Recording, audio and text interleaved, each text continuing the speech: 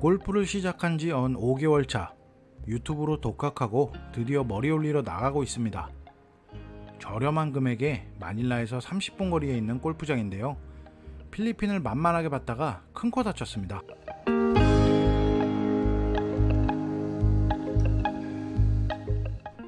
골프 친다고 깝치기 시작한 지 언 5개월이 조금 넘었습니다.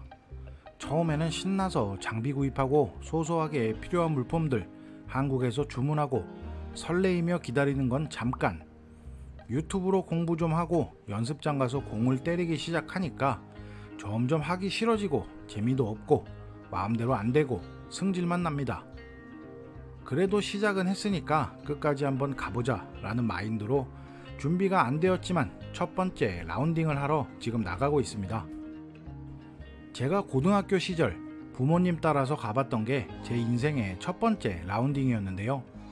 그 당시에는 뭐 골프에 관심도 1도 없었고 그냥 나가야 된다고 그냥 나가서 막대기 휘두르듯이 돌리면 된다고 했던 첫 번째 라운딩.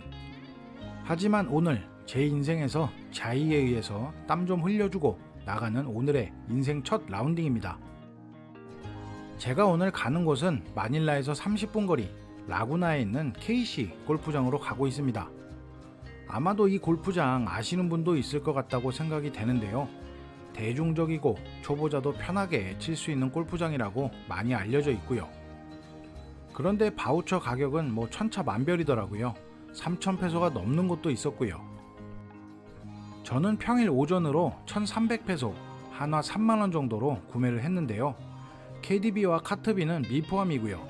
여기에 추가로 카트는 1000페소, KDB 500페소와 팁이 들어갑니다.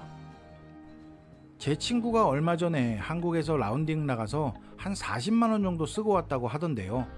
한국과 비교하면 이건 뭐 거의 공짜라고 생각되는 금액이죠. 물론 시설과 서비스의 차이는 있겠지만요. 오늘 가는 이 골프장, 좋은 점은 일단 마닐라에서 엄청 가깝습니다. 바라냐케나 알라방 쪽에서는 30분도 안 걸리는 거리라서 교민들 뿐만 아니라 한국에서 오시는 분들도 개인 가이드나 여행 패키지로도 관광 오셔서 많이들 찾는 골프장이더라고요. 오늘 제가 머리 올리고 앞으로는 제가 하나하나 다니면서 필리핀 골프 라이프는 과연 어떤지 디테일하게 리뷰를 해드리겠습니다. 아침 9시 반 골프장에 도착을 했습니다. 매번 5천원 정도 주고 연습장만 주구장창 다니다가 이런 골프장이라는 곳에 진짜 오니 입구부터 좀 설레이네요. 몇 년 전 한 회사에서 여기를 인수해서 지금 새롭게 리모델링이 되고 있다고 하는데 지금 이 모습을 보면 대략 한 20년은 그냥 방치해 둔 것 같습니다. 입구에서 골프백은 먼저 들여보내고요. 여기서 캐디를 만납니다. 참고로 마음에 드는 캐디가 있으면 지명도 할 수 있고요. 아.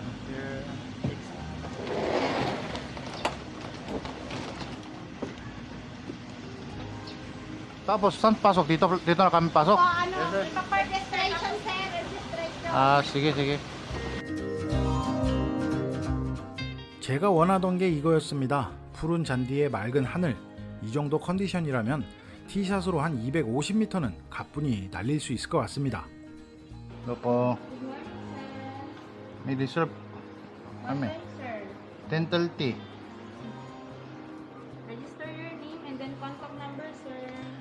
Ito te? Name and then contact number. Dalawa kami lahat. Apo. Magka-card sila, sir? Ha? Card? Card. Oo. How many, sir? Isa lang, dalawang kami. Okay. Tapos yung card fee tsaka yung KDP mamayan ba yung bayat? Uh, KDP later. Direct pay to them. 저는 오늘 18호를 칠 건데요. 개뿔도 모르지만 홀지도 한번 보면서 코스를 어떻게 공략할 건지 잠시 작전도 한번 짜봅니다. 홀인원 보드 올해에는 아직 한 명도 없네요.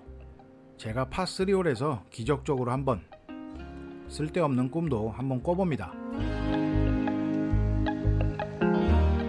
드디어 대망의 첫 홀로 이동하고 있습니다. 근데 날씨가 좀 심상치 않네요. 너무 더운 것 같은데요. 일단 집중력을 끌어올려서 한번 쳐보겠습니다.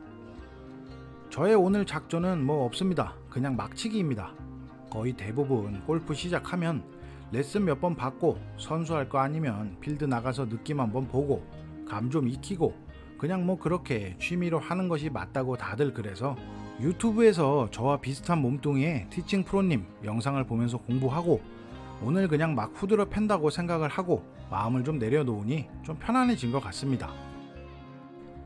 저는 10번 홀부터 시작을 합니다. 여기는 파4홀.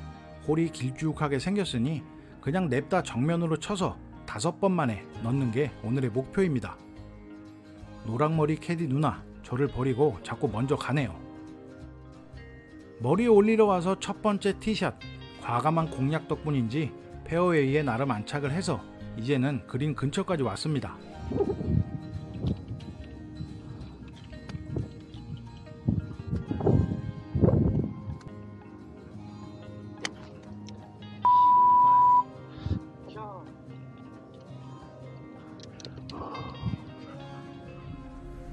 우회곡절 끝에 홀에 아주 가깝게 붙였습니다. 이번에 이거 넣으면 저의 골프 인생의 첫 번째 보기. 캐디 누나들도 숨죽이고 저를 바라보고 있습니다. 나름 세 번째 홀까지는 처음 인생의 파세이브와 보기 플레이도 하면서 나는 골프의 신동이다. 역시 5개월간의 노력은 배신하지 않는구나. 이런 자뻑 마인드로 신나게 그냥 뛰어다녔습니다. 골프가 너무 재밌더라고요. 특히나 티샷 멀리 때리고 두 번째 샷 하러 카트 타고 샥 달리는 기분이 너무 좋았고요.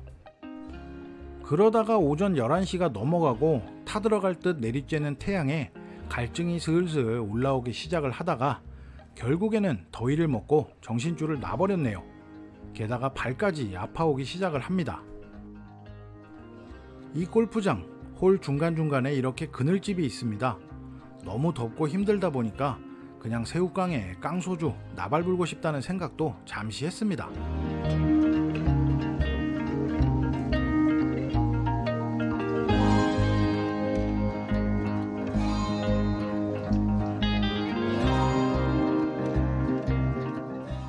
그래도 쉴 수 있는 공간이 있어서 삶은 계란과 시원한 음료도 좀 마시고 체력을 보충을 했는데요.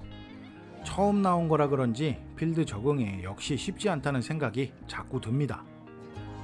결국에는 찌는 듯한 더위와 불편한 나의 골프화로 인해서 쩔뚝거리면서 좀비 마냥 걸어다닌 기억뿐이 없습니다.